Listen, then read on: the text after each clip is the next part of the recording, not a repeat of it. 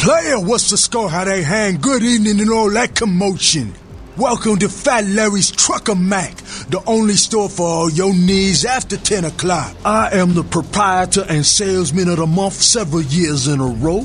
The ladies call me, oh God, but you can call me Fat Larry with a F-A-T, cause I know I got a weight problem, I just don't give a fuck.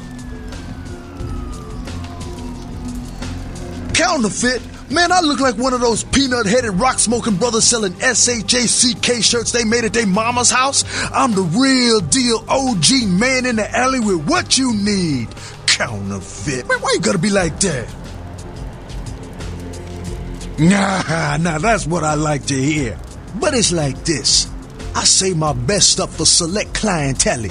Now that don't mean I don't appreciate your business. It's just, you know, business.